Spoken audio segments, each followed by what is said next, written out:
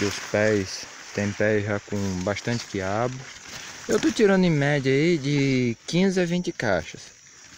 Vocês podem ver que tem 1, 2, 3, 4, 5, 6, 7, 8, 9, 10, 11, 12, 13, 14, 15, 16 e lá vai mais tanto botões como quiabo para ser colhido. Aqui eu vou colher aqui hoje, eu vou colher aqui aproximadamente dois quiabos.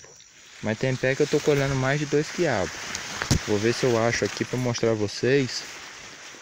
Com as brotação, né? Chega a tirar mais de de 5, 6, 11 quiabos que a, tem chegado a tirar pro pé.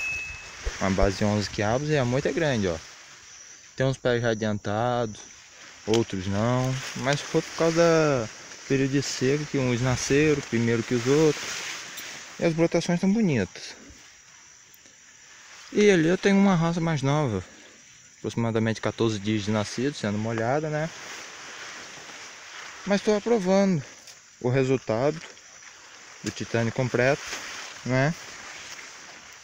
Ó, aqui temos dois quiavos para ser colhido hoje. E aconselho a todos, todos a comprarem o titânio completo. Um abraço a todos e um bom dia.